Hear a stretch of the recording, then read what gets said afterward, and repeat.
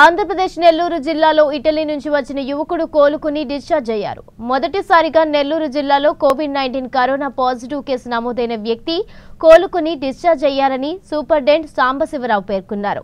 ఈ సందర్భంగా ఆయన మాట్లాడుతూ మరో పద్నాలుగు రోజులు హోమ్ ఐసోలేషన్లో ఉండాలని అంతవరకు బయటకు రావడం ఇతరులతో కలిసి తిరగడం చేయకూడదని వివరించామని అన్నారు.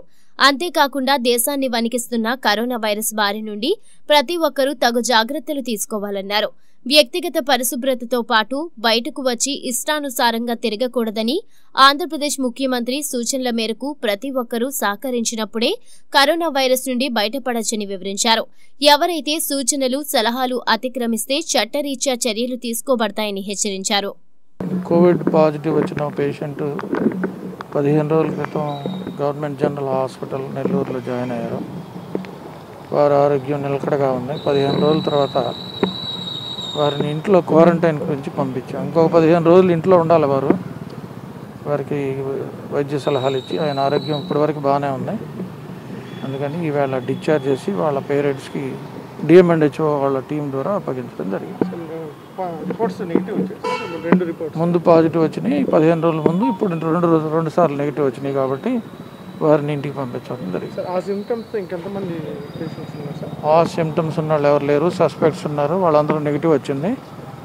అందరూ కండిషన్ హెల్త్ స్టేబుల్గా ఉంది. అంటే అలా ఉంది అని చెప్పి లేదు అనుకొని అలా ఉండకూడదు. మీరు కూడా ప్రజలకు అందరూ కరెక్ట్గా సలహాలు ఇవ్వాలి. దగ్గు తుమ్ములు జ్వరం అలాంటివి ఏమైనా వస్తాయి ఎక్కడైనా ఫారిన్ కంట్రీస్ వెళ్ళి వచ్చినా వాళ్ళ తాలూకా వాళ్ళు ఎవరైనా పక్కన వాళ్ళకి వచ్చినా వెంటనే వైద్యుల్ని సంప్రదించాలి. తగు వైద్యం చేయించుకుంటే కొంత తగ్గడానికి అవకాశం ఉంటుంది. అధైర్యపడకూడదు ఇన్ ద సేమ్ టైం బ్యాడ్గా చేయకూడదు. అలా గుంపులు గుంపులుగా తిరగటం మనుషులు మనుషులు దూరం మెయింటైన్ చేయాలి. ఇప్పుడు కూడా మీరు దూరం మెయింటైన్ చేస్తేనే మంచిది. అందువలన ఎక్కువ కాంటాక్ట్ ఉండకూడదు. ఎప్పుడు ఫ్రీక్వెంట్గా చేతులు కడుక్కోవాలి. ఈ ప్రికాషన్ తీసుకుంటే ఈ జబ్బును అరికట్టడానికి ఎక్కువ అవకాశాలు ఉన్నాయి.